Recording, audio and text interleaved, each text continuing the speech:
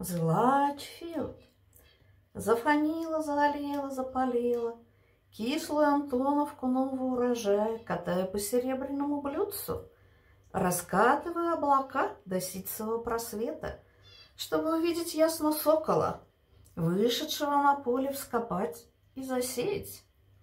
И затру в кровь ладони об облака, если часто, Прогляжу все глаза, высматривая в Лачфилд.